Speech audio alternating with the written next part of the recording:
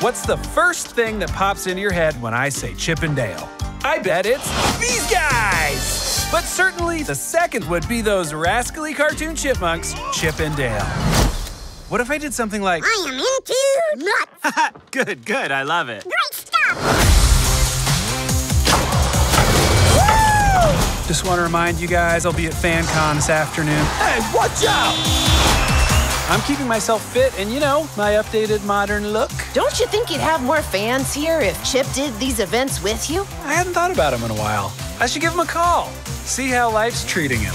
Life is the worst, which is why you need good insurance.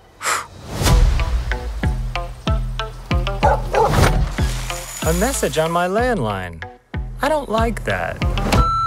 I know you're still mad about Rescue Rangers getting canceled, but I've just got a call from the police and I need your help. That my best friend, she a real bad bitch, got her own money. I searched the perimeter. No clues. Why would there be? Six missing tunes in a month and not one clue. Oh no! She been down since the Chip! Dale, you look different. It's no secret I had the CGI surgery. What's been up with you? You know, this, that, other vague things to fill the space of this conversation. Cool. Hit a with the tea We can see what we can find out and then pass it along to the officer. But that's all we're gonna do.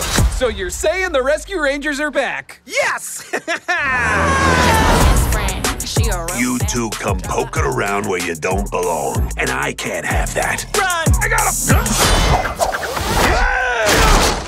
What are you looking at? Honestly, your weird dead eyes.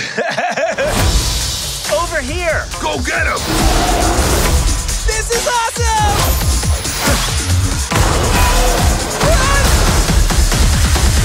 I was always more of an Alvin and the Chipmunks person. You. Monster. That my best friend. She a real bad got her own. It was like professional. Same time. Jinx, you owe me a non-brand specific cola. What? That was crazy. Somebody call Guinness Book. This is incredible.